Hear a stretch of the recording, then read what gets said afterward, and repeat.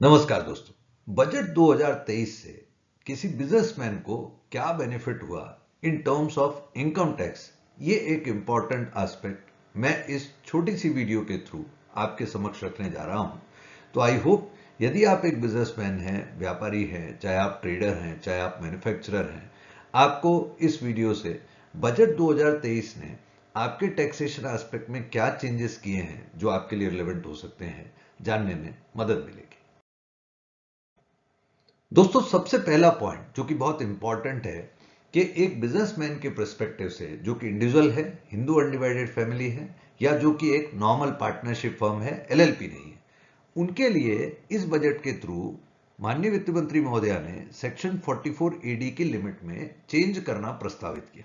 अब ये 44 एडी की लिमिट क्या है कि यदि मान लीजिए कोई व्यक्ति जो ट्रेडर है या मैन्युफैक्चरर है, या कोई सर्विस प्रोवाइडर है, जो कि प्रोफेशनल नहीं है और जो कि plying, hiring, leasing of goods carriages से रिलेटेड काम नहीं करते।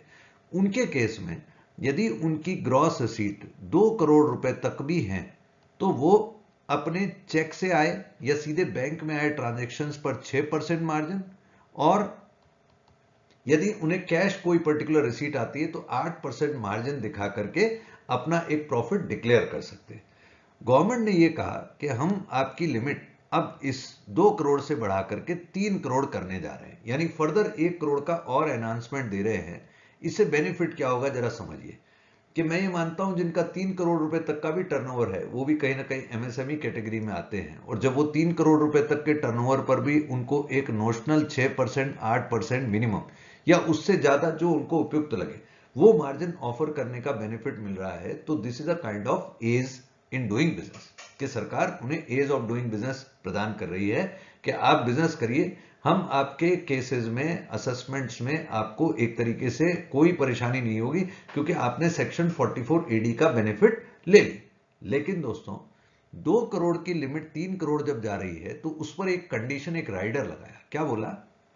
कि ऐसे व्यापार, ऐसे बिजनेसमैन ही तीन करोड़ की इस एनहांस लिमिट का बेनिफिट ले सकते हैं, जिनकी कैश रिसीट टोटल रिसीट के पाँच परसेंट से ज़्यादा ना हो, यानी पाँच परसेंट तक हो। तो यदि मान लीजिए तीन करोड़ का पाँच परसेंट हुआ सर, पंद्रह लाख। यदि किसी व्यापारी का सपोज़ फॉर एन एग्ज़ाम्पल दो करोड़ अस्सी लाख का टर्नओवर होता है तो दो करोड़ अस्सी लाख का पाँच परसेंट हुआ सर उनके पास में फोर्टीन लाख।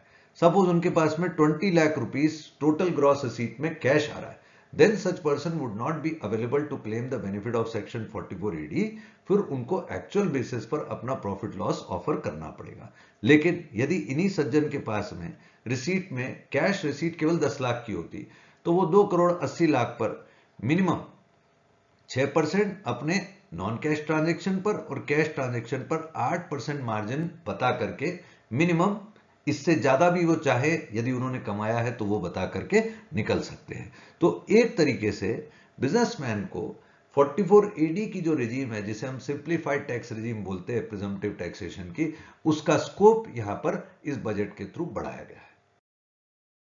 अब बात करता हूँ दोस्तों, दूसरे इंपॉर्टेंट बेनिफिट की, जो कि एमएसएमई इंडस्ट्री के प्रस्पेक्टिव से मिल रहा है। कि गवर्नमेंट ने पहली बार मेरी ओपिनियन में ऐसा किया है कि अब तक सरकार एम्प्लॉय ड्यूज के प्रति सतर्क रहती थी बैंकों एनबीएफसी के ड्यू के प्रति सतर्क रहती थी और ये कहती थी सेक्शन 43 बी में कि जब तक आपने इन व्यक्तियों के पेमेंट को वास्तविक रूप से नहीं कर दिया, तब तक हम आपको डिडक्शन नहीं देंगे।